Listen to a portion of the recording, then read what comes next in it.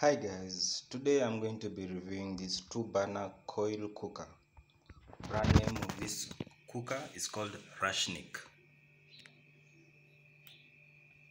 You can see the logo.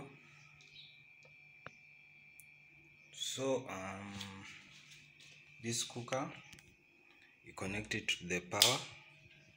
It has some switches here. You can see the LED coming on signaling this uh, coil is turning on. There is a second knob for the second coil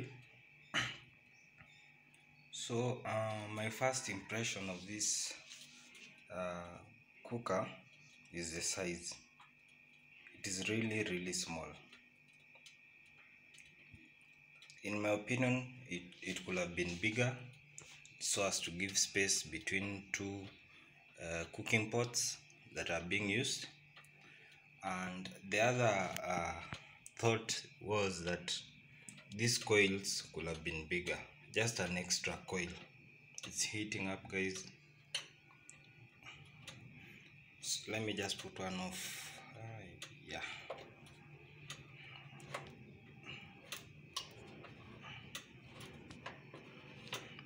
yeah that one is off. Let this one uh, turn on so that we can see how it turns red hot. So uh, my first impression was that the coil was, was a bit small. The coil could have been they just they could have added just one extra line and that would have really gone a long way to make it more uh, efficient.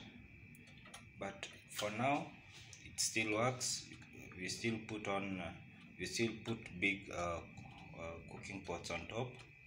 And it's able to cook uh, some various food items. Um, others well others not so well. So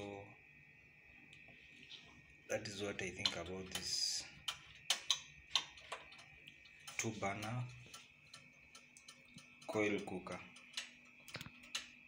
on the bright side uh, it's a small cooker you can easily carry in a carrier bag and you can go with it uh, somewhere.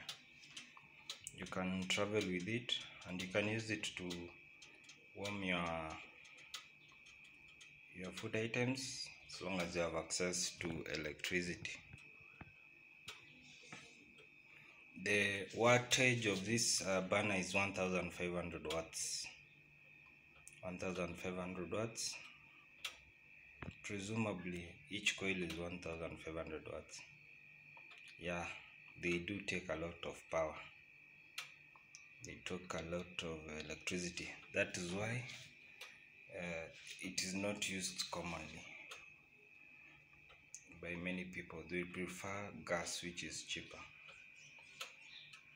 This uh, cooker is available in black and white this is a white one. You can see the caution there. Do not touch. It gets pretty hot.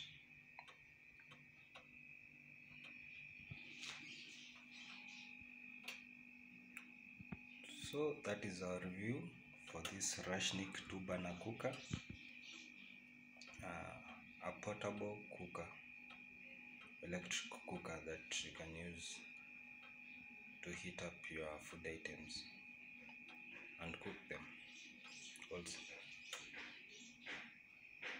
That's all for this video. Don't forget to hit the subscribe button and the like button. Bye